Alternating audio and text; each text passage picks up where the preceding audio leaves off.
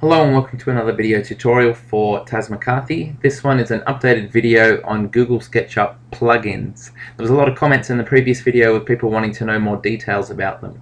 Fortunately I've just gone through and reinstalled SketchUp and reinstalled and reevaluated all the plugins I was using and as I did that I spent a fair bit of time making this Excel spreadsheet with the name of the plugin, the version, the files added to the plugin directory, where it's found, to activate it inside SketchUp, what it does, um, the author, and a linking where to get it. So I'll put up this Excel file in the description of the video at some stage.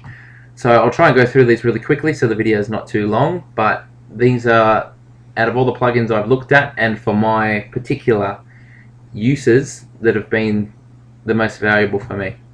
So the first one, the first series are by an author called Fredo6 and he posts all of his plugins on the Sketchucation website. Now a lot of them require this library, so once you install the the libfredo6 library, it won't actually add anything to SketchUp by itself, but it's needed to run all of the next ones I'm about to show you. Okay, first one is Fredo Scale. This is a scaling tool, but it has a lot of extra commands for doing fancy things. So here's the toolbar here for instance, we've got things like this bending tool here, which is very different to the normal SketchUp functionality. Now, all the Fredo 6 plugins, he has video tutorials and PDFs for instructions explaining each one. So I'll go through his really quickly, but this is a set of tools that extends the usual push-pull and the move and the scale tools to have a lot more detail and a lot more control over what you can do. As you can see that shape there is definitely not possible using the normal plugins. The next one, Round Corner, a very useful tool and something that SketchUp is missing from its native toolsets is the ability to add a round corner onto something easily after you've already made it. So with this tool, the toolbar, these three here, Apparently it doesn't want to work because uh, we're in a group. So I selected this top and all of the sides touching that. I click to put in my diameter that I want and it gives me a green preview line as to where it's going to make the curve and then you can see here it's added a nice rounded edge so that also comes in two other versions and it's really useful. You can do it line by line or you can select the whole thing and it'll do every one that it can find. Next one is Curviloft which is really powerful and will perhaps be a little bit hard to show exactly what it does very quickly but we'll have a quick go here. So if we have two different shapes here, some of the different modes we have, and this is the toolbar,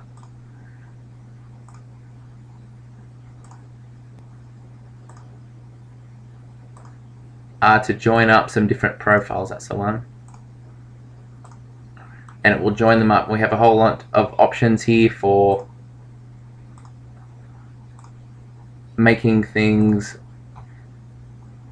a tangent, changing values to get different amounts of curve, different amount of twist, all sorts of things like that.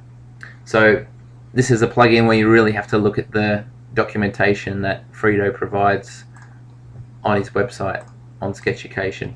But extremely valuable plugin to replace, well, to add tools that are really missing compared to pro proper professional programs such as SolidWorks.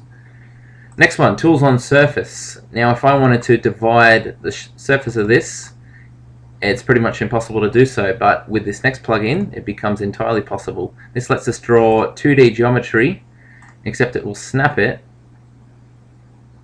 onto, that's a bad example, Make this smaller. It will contour onto the surface. So now if I want to color this section a different color, you can see that it split it up and it snapped that rectangle or all those other tools onto the 3D organic surface. Very useful. Next one, joint push-pull. Generally the push-pull tool will let us only do one at a time, but a simple use for this, if we make a quick copy of this over here, you can see at its most basic form, joint push-pull will allow us to do both of these at once. But where it really works out well, and hopefully it doesn't slow down the computer too much, is to do it on a nice round shape like this one here.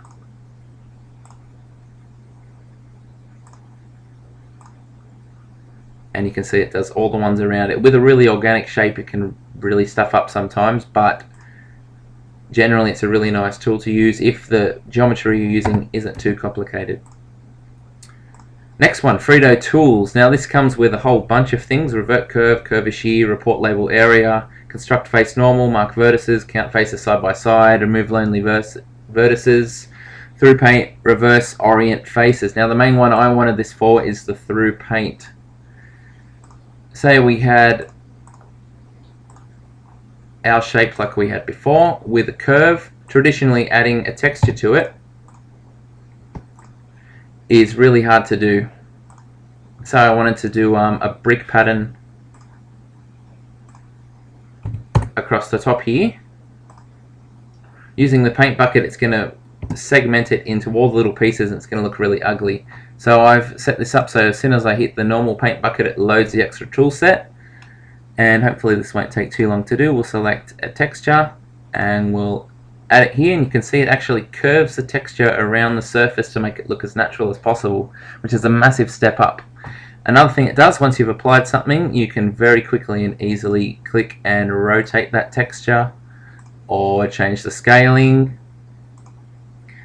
think with arrow keys, I'm not sure, but you can move the texture around, so you need to fine tune the position of how it appears on the object, and that is an extremely powerful plugin compared to the native paint tool in SketchUp.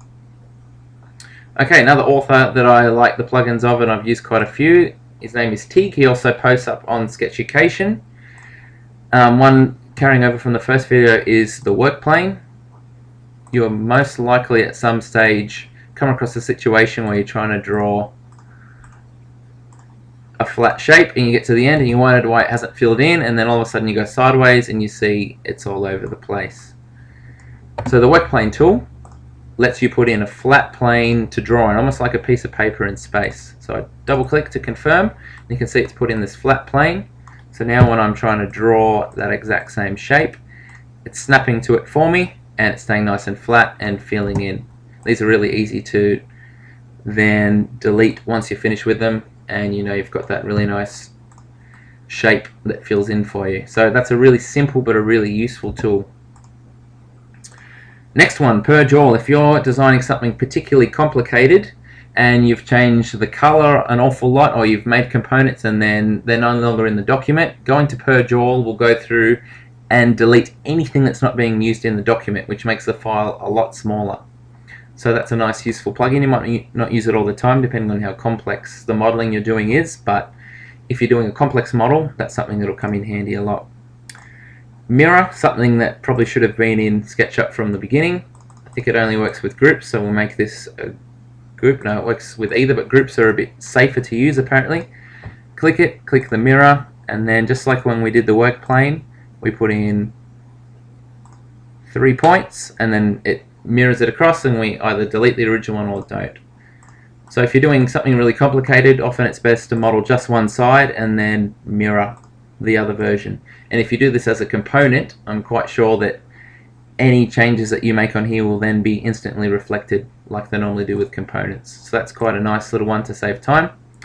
Manifold is, I've installed this because I've started doing some 3D printing. Um, on this it's probably not going to do too much. We'll just test it. But basically it's a plugin that looks through something and it looks for holes. So basically when you're 3D printing you need solid shape. So it'll look for holes and then it will try and fill them in. In this case it seems to be successful. So it's made a copy over here and it showed us what it's added in. It's filled in this hole here. On a really complicated shape. The script takes a very long time to run but as you can imagine, finding a tiny hole manually is going to take quite a lot of time, so it could be very useful if you're doing some 3D printing. Next one, more along those lines, STL or DXF export.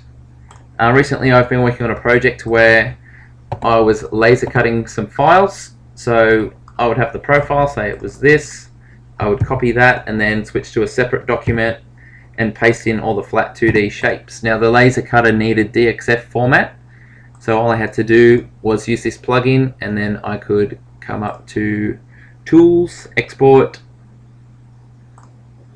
and then put it in millimeters oops, and change it to these first four options are all to do with DXF. Now if you need an STL file for 3D printing you can do the same thing select what you want come up to here and on the second option pick STL so that adds a lot of exporting power to SketchUp so you can use it for 3D printing for laser cutting things like that next one import OBJ object file format with materials. So this one was originally done by Jim Foltz and then worked on by TIG. And basically, I've been getting into some 3D scanning to go with the 3D printing lately. And the software I'm using, David Scan, saves in the .obj format. So that just lets you import 3D scans into SketchUp. At the moment I found that really slow and it crashes a lot, but there's not really any other options, so I've stuck with that, and that's up in the plugin plugin menu, object importer, and then click this and pick your file. Progress bar, um, some of the other ones on this list require it, so you install it and you don't actually see anything until you're using the other plugin.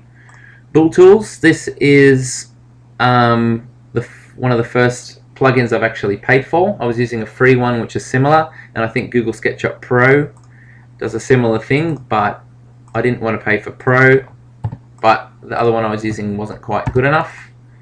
So I invested a few dollars in this. Basically the way this works, if we make a copy of this, is by joining or subtracting or adding different groups together. So if I move this so these are overlapping, we can click the tool. This first one joins them together and you can see they've become one thing. Try some of the other ones. Cuts it away. Or the third one leaves the places where they were um, interweaving with each other. It's really quick on a shape like that. It has had some mixed results on really complicated shapes, but it certainly beats any other method of doing it. Another one that costs money, Subdivide and Smooth. This is for organic modeling this one here. So this is meant to mimic working with clay or something like that. So with this we'll split up this into the different shapes and then we hit this button. Sorry, should be a group first to work properly. We'll hit this button and basically what it's going to do is around all of these things. Now we get this box on the outside. Now every time I modify this box, it uses that as a guide to modify the shape inside. As you can see. When you're finally finished with it, this box is a group, so you can explode it. Oop, too much after you explode it, you can delete and you're left with just your organic shape on the inside. So any other method of making this type of shape is going to be extremely hard. So I haven't had any projects using it yet, but I envisage that's going to be a really, really powerful plugin when I do have a project where I need to do organic shapes. Next one, make ortho views. This one's very good if you're doing a drawing that you need to lay out, so let's just make a really quick shape here. What do I want? I might do a triangle in the middle. Okay, so for this one, I select what I want and I come up to, actually there's a little icon here.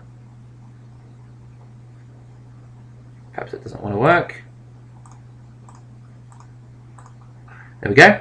So it makes copies of them, it sets up an isometric one, top, front, bottom, both sides and back. So it'll lay it all out for you. Really, really fast way of doing that. So it's just a visual effect with copies, but say you were perhaps doing a screenshot with something like that, you might find that really, really fast. Next one, stray lines. If you've been working on something really complicated and you're about to 3D print and you don't want any, any errors in your file, say I was working on this and I deleted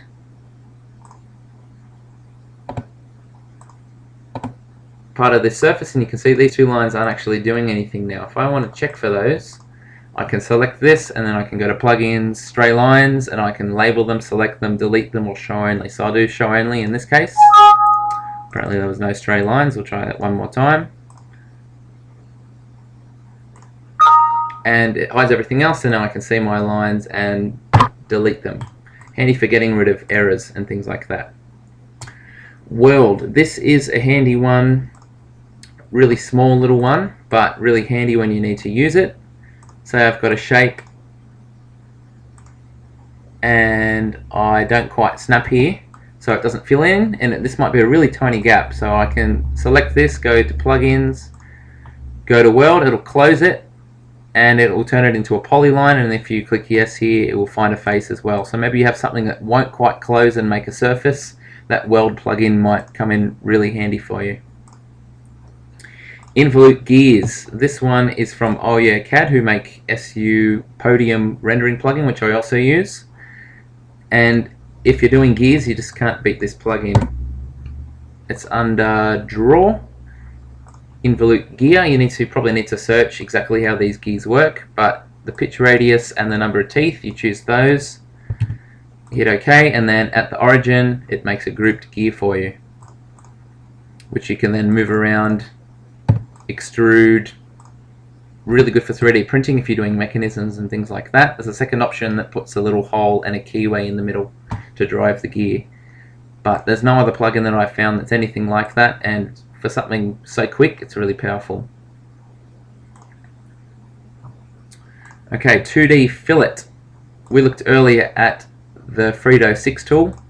What if we're drawing a 2D shape on here and we know we'd like to do a fillet. We can select the two lines, make sure there's no extra lines touching them. I believe it's under Tools, Fillet, and it's just waiting down here for us to type in a radius.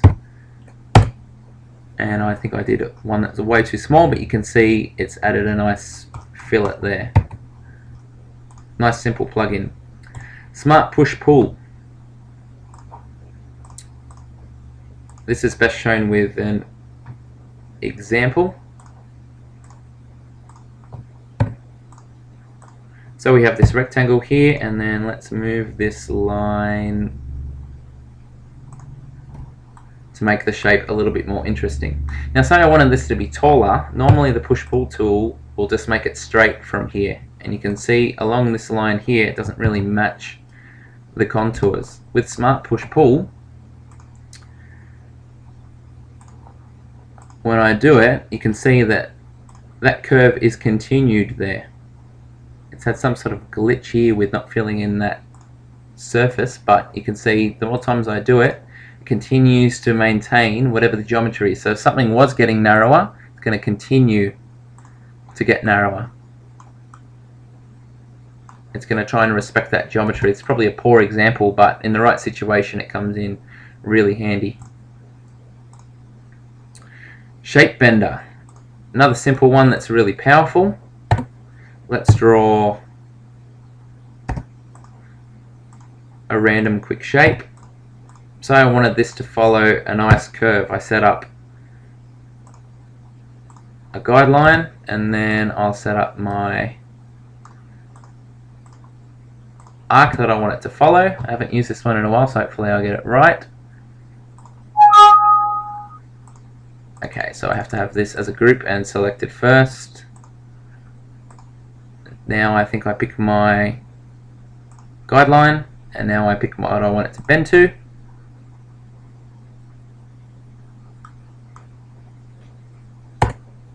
And you can see that it's curved the shape around here. Now I think this should have actually been a little bit smaller for it to work how we expected so we'll try that one more time the length of the guideline and the end line is actually quite important for this one. If you look at the video tutorials for it, you'll see that how that works. Doesn't want to work all of a sudden.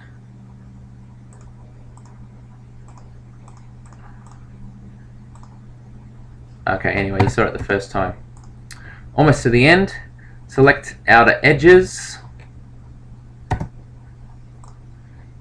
This one, so I had a really complicated shape and instead of going through and clicking these outside bits holding shift one by one, as far as I know, just got to remember where this one is, I can select a surface and then under Chris Fullmer Tools select outer edges and it doesn't want to do anything now. But it's meant to go around and select all the outside bits. If you look at the documentation after following the link it explains it really well. Show all entities quite often if I've got something complicated I might have certain things hidden. All this one does I've set it up for a keyboard shortcut. It shows everything back on the screen. So you might forgot what you've hidden at some stage. You've got all different things hidden. You can just go to, I think it's under plugins. It's under one of those. This is why I've made this file. It is under plugins. Show all, and it'll show everything that's hidden in the document. Simple shell. Haven't really experimented with this one much yet, but say I wanted to make this hollow. I can click that and then go to simple shell. I tell it how thick I want it to be. And now hopefully, if we look inside here, you can just see it's delete ooh, two of the surfaces. It's actually turn this into a shell. So it's drawn a second one, three mils inside the first. But that works with really rounded shapes as well. Nice, really simple, handy plugin. Second last one, STL importer. All this does is import STL files which are used for 3D printing. So say you wanted to actually manipulate or edit one before you did a 3D print, it lets you import it and that goes underneath the native import function here. So you just change it to STL by Jim Foltz and it brings in the file. It's been a little bit more reliable than the, the object importer thus far. Last one, helix. If you're drawing a spiral, there's a way to do it step by step manually. But this one, we'll, we'll stick with whatever's here. We'll draw the helix for you. So a nice spiral going up. That might be a nice thing to model a screw thread or something like that. So like I said earlier, for all of these, you can follow the link and quite often there'll be video documentation for exactly how it works or a PDF with instructions and things like that, especially for some of these prominent people like Fredo6 and Tig. So I'll add the file to the description shortly and some of these are pay ones but only about three or four at the most. So hopefully you get some good use and extend your SketchUp capabilities by using these.